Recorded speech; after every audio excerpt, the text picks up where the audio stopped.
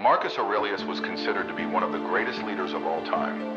His self-written book titled Meditations is a key insight into his brilliant mind. What if the country we live in was being cared for by a good, respectable leader, just like Marcus Aurelius? The first thing we would see is that he would teach us about forgiveness on a level never before seen in modern times, especially coming from a world leader. In our world today, we are obsessed with retaliation.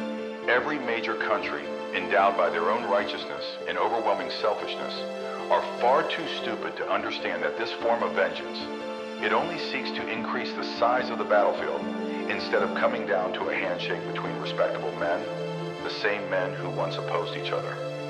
One thing we would very quickly notice is that he would find ways to end the catering of one race over another.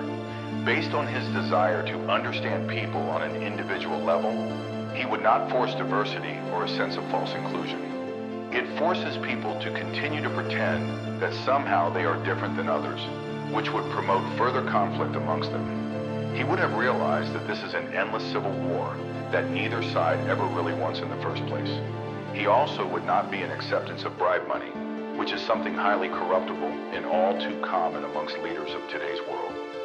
Marcus, just like several other Roman leaders, believed in keeping the trust of the people. Unfortunately, back then, very few Roman leaders had an interest in ending the lobbying of government. Today, we see all too clear that if you accept money from others, you become obligated to adhere to what they think is best.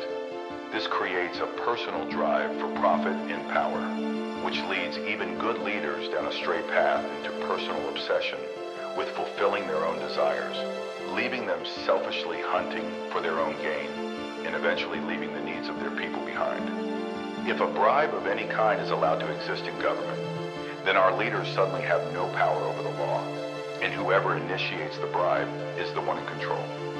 Once this happens enough times, we suddenly find ourselves in a world where the people of that nation are entirely left behind. Bloodlust and thievery becomes our new national anthem. The upper class will become the middle class.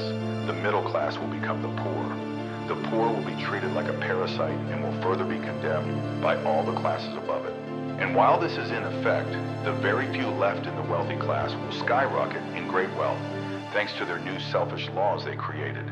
It's truly the end of a once great nation.